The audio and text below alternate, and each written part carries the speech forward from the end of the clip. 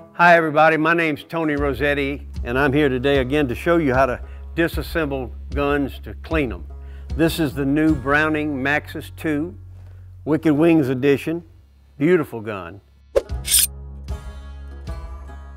All Maxus 2s disassemble the same way. First thing you want to do always is to make sure that the gun is empty. The other thing you want to have when you're working with firearms is you want to have some eye protection. There are loose springs and things that can bounce up and hit you in the eye, put your eye out. So empty gun, eye protection. First thing I'm going to do is I'm going to remove the magazine cap.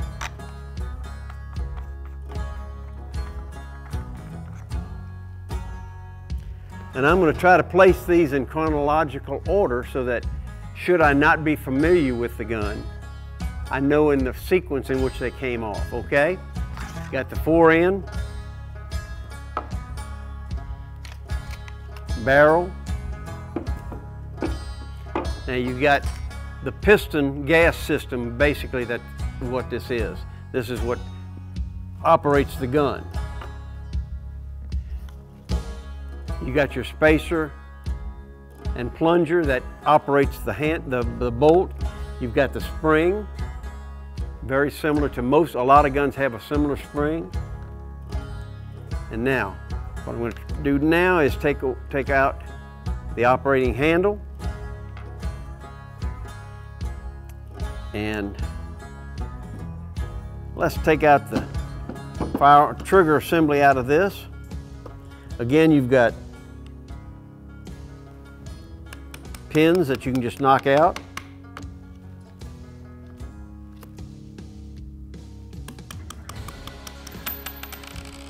You would like a good clean work area so that should these pins fall on the floor or somewhere, you'd be able to find them again.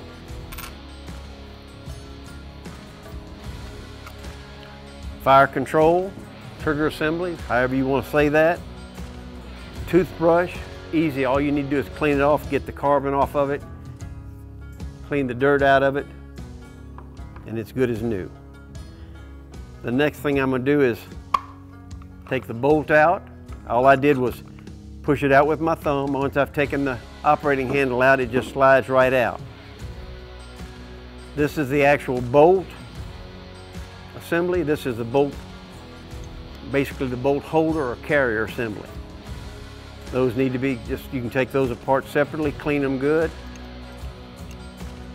Now, if you had a sonic cleaner of some type that you reload shells and you clean the shells with, you could drop some of these metal parts in there and clean them with that. That would help.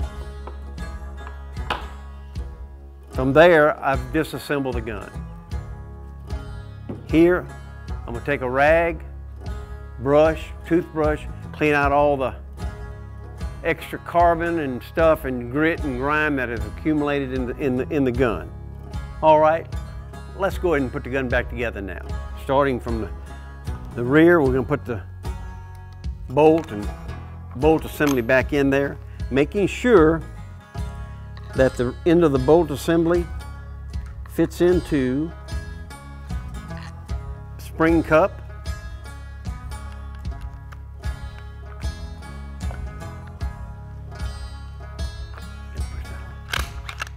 So that's that's in there. You realize that when as soon as you do work the action, I'm gonna put the fire control back in the gun. I'm gonna just slide it in.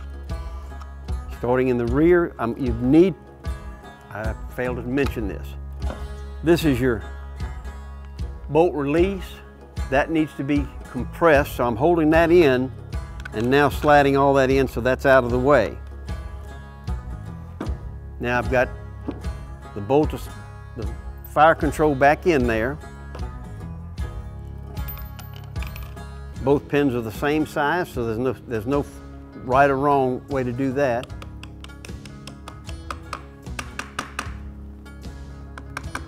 Sometimes you got a little bit of movement.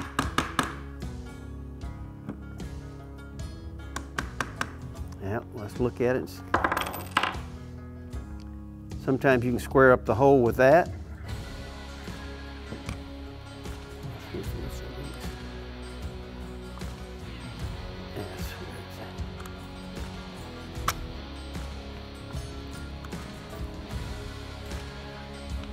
Go. Getting all the parts lined up, that's just part of it.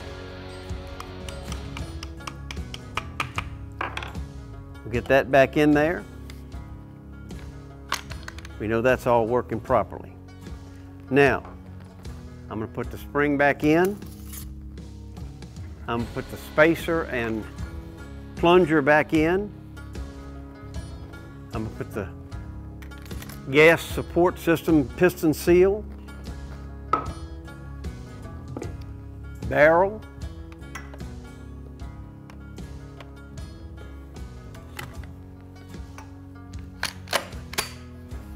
Now, if, you if you're familiar with the Maxus, you'll notice this doesn't have the little magazine, I mean the fore-end release right here. This is a, as they, they've gone back to the traditional nut and screw, you know, to put it back in and lock it in.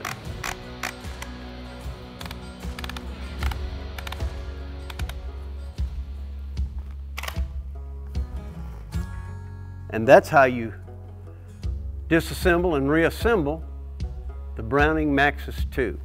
Beautiful gun, Cerakoted bronze and mossy oak, hard to beat. Thank y'all for listening.